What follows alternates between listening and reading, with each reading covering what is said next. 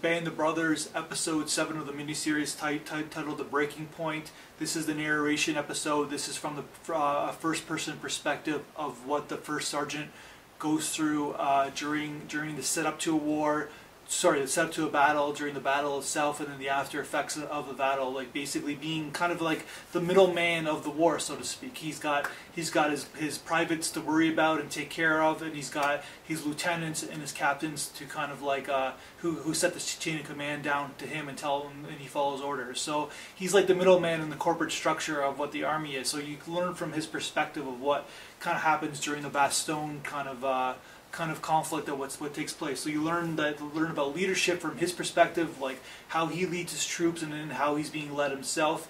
And you're also learning about bad leadership because the the new lieutenant who replaced Winters and Easy Company is more of a political lieutenant who uh, who's got kind of a uh, he's got it's kind of like a nepotism kind of leader where he's got he's got connections with inside of his with inside of the, the army machine and he needs to have some sort of uh, military experience to uh, to get by. So then he, you have to learn how to deal with someone who's a bad leader, and like, and you're worrying about the the state. Not only like usually when you have bad leaders in the corporate world, you kind of going to lose some money, but these people are going to lose their lives if they don't have good leadership. So you're learning that as well. You're learning the brotherhood of what what these guys go through within their the friendships that they form and the and the bond and love that the form they form with each other. You learn how to get over death. Like there's all kinds of death and about you get close to somebody and you're like sharing basically your whole life story and you're like you're taking care of somebody and you're in a you're basically in a ditch with somebody for like days on end and then they die and you have to learn how to deal with the death.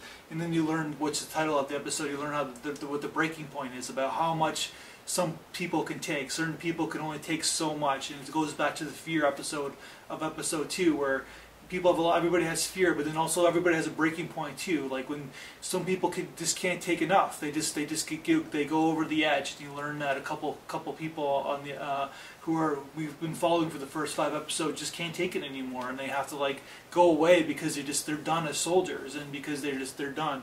And then you learn about fear too and that's what it goes back to about like how much people can handle. So basically it's kind of a cool episode. That's my review